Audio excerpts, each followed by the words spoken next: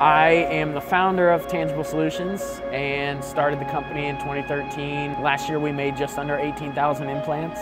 Since I've had a lot of product knowledge, you know, in orthopedic implants, I wanted to just start to understand how do you make implants biological in nature. With enhanced design tools at our fingertips, we can push the limits from a manufacturing standpoint. When you start talking about the types of things you can do with nTopology on an implant, then you start talking about how can I grow bone into it? How can I attach bone into it? What kind of roughness features to keep the implants in the body can I add? Now you can take titanium, which the bone loves a lot more growing in the body, and you can make a geometric or a stochastic lattice to reduce its effective stiffness.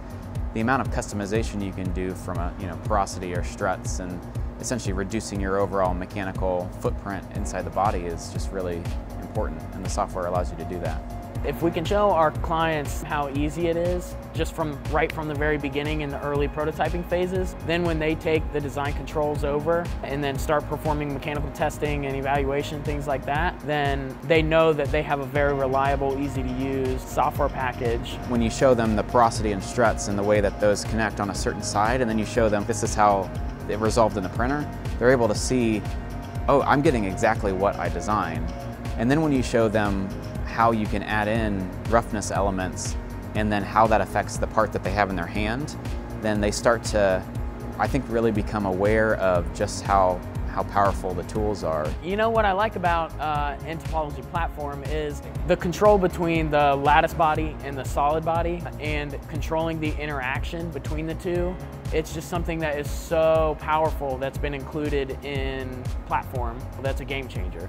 Uh, being able to generate the random seed for a stochastic lattice and then like save that and know I can come back to that and if something didn't work out that just is it's a really efficient process for people who really are iterating which in today's industry and with additive we can offer them the advantage of quick iterations.